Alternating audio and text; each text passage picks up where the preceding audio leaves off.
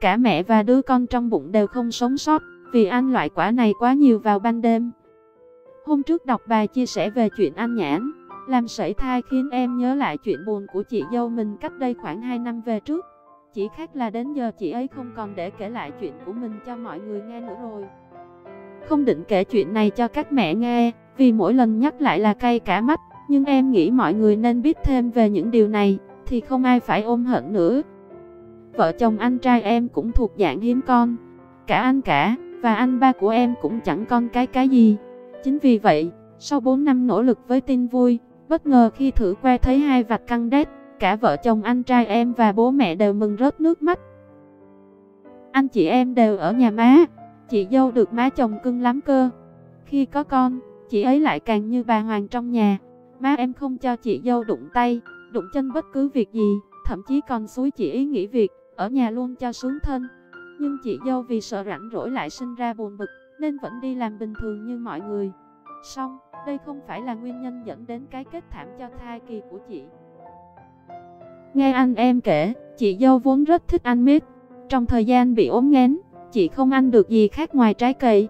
Tất nhiên, hễ mua được mít thì chắc chắn chị mừng ra mặt. Có bữa em ngồi ăn hết cả miếng góc phần tư trái mít, cỡ vừa làm anh em phải mắt tròn, mắt dẹt. Má em thì lúc nào cũng can ngăn, vì cho rằng chị dâu anh uống như vậy không đủ chất cho cháu. Nhưng anh em lúc nào cũng bên chằm chập. Vợ con ngén, ăn được gì thì ăn thôi má. Với lại, con nghe nói mít cũng nhiều chất dinh dưỡng, rất tốt cho bà bầu mà mẹ. Được người thương bên, chị dâu em càng làm tới. Bữa nọ, biết vợ thèm, anh em về Bình Dương công tác, gáy bằng được qua nhà anh bạn đem trái mít chín cây về cho vợ. Sẵn bữa má em đi ăn dỗ ở quê, chị lười nấu cơm tối nên sau khi cho chồng anh gói mì xong, chị lôi mít ra ăn lấy, ăn để, vừa ăn vừa xem phim cùng chồng, nên chị dâu ăn gần hết cả thố mít lớn mà không để ý. Chẳng cần đợi lâu, vừa đem thố một mít đi đổ thì thấy chị la đau bụng ngay. Nghĩ chắc do bị đầy bụng nên hai anh chị cũng chẳng để ý lắm. Tối đến, càng lúc chị càng bị đau bụng dữ dội hơn. Anh trai em có pha cho ly nước chanh muối để giải nhưng không ăn thua. Sau một lúc đau quá thiết đi, chị dâu lại giật mình dậy giữa đêm vì bụng đau quặn làm chị phải lăn lóc quằn quại. Khi em chạy xuống thì thấy anh bế chị chạy ra khỏi phòng, mặt thất thần. Về phần chị, máu ra chảy ướt đẫm cả quần, mặt xanh mét và mắt nhắm nghiền. Chiếc quần anh trai em đang mang cũng máu me bê bết. Bản thân em còn đứng không nổi khi chứng kiến cảnh này bảo sao anh có thể. Trên đường đi cùng anh chị, em luôn miệng nhẩm kinh, cầu mong sao chị qua khỏi nhưng rồi trời không thuận lòng người. Chẳng những cháu em không thể sống sót, mà cả chị dâu em cũng phải rời xa khỏi cuộc đời này. Các bác sĩ cho biết chị dâu bị chứng rối loạn đông máu. Có thể vì không biết nên đã không chú ý đến chuyện ăn uống. Cộng thêm chuyện ăn mít quá nhiều một lúc, lại ăn vào ban đêm nên mới dẫn đến sự việc đáng tiếc.